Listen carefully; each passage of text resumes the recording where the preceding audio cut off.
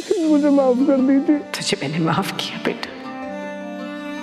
मैंने तुझे माफ़ी अरबान एक शर्त पे दी है कि तू अभीरा के साथ हमेशा हमेशा के लिए इस घर को छोड़कर चला जाएगा।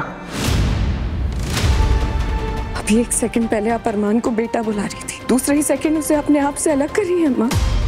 मुझे आपकी शर्त मंजूर है ये आपके बिना खुश नहीं रह पाएगा। अरमान